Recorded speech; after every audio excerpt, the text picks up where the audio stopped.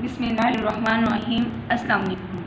welcome to the online class. I am a teacher of अटकम house public boys high school I am going to take your English lecture for class four students open your books page number six unit number one Anwar found a camera Anwar found a camera what is meant by found found mean मिला तलाश किया। Students today we read first three lines with translation before start reading. I will tell you what is in the story. ये कहानी दो दोस्तों, Anwar, Mushtaq, police officer और एक चोर की है। एक दिन अनवर और मुश्ताक सैर करने के लिए पार्क गए उनको पार्क से एक कैमरा मिला। वो कैमरा लेकर पुलिस स्टेशन चले गए। स्टॉप स्टॉप और वो कैमरा पुलिस ऑफिसर के हवाले किया। और पुलिस ऑफिसर को बताया कि हमने इसमें बहुत सी तस्वीरें ली हैं। क्या आप हमें हमारी तस्वीरें दे सकते हैं? पुलिस ऑफिसर ने कहा, आप कल आकर अब तक अपनी तस्वीरें ले जा सकते हैं।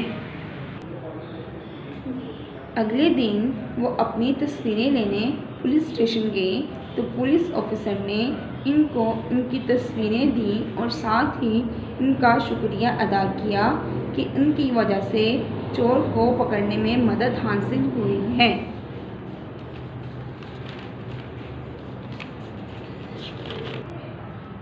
Students i hope you will understand what is in this story so we start first three lines with translation one day एक दिन Mushtaq went to see his friend Anwar एक दिन मुश्ताक अपने दोस्त अनवर से मिला went मिला when Mushtaq knocked the door जब मुश्ताक ने दरवाज़ा दरवाजे पर दस्तक दी। Anwar's younger brother told him, Anwar के छोटे भाई ने बताया, dad was not at home के अनवर घर पर नहीं हैं।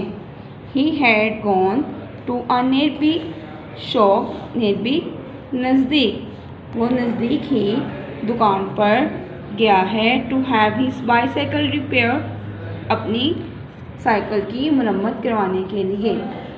मुश्ताक मेट मुश्ताक मिला, अनवर एट शॉप, मुश्ताक अनवर को दुकान पर मिला। Hello Anwar hello Anwar, how are you?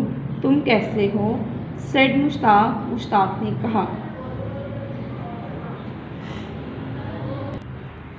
The remaining story and reading students, the remaining story with translation will learn be by yourself. So open your notebooks. Our next question is words meaning?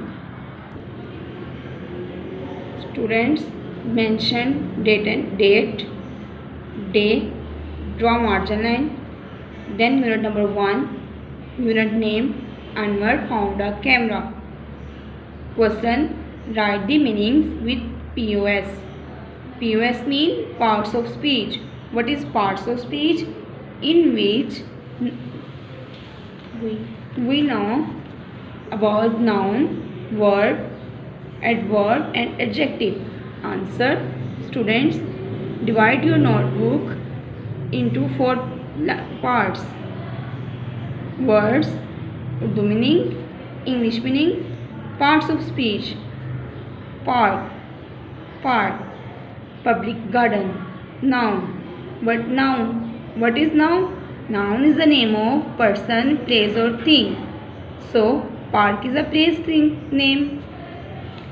Thief, chore, rubber.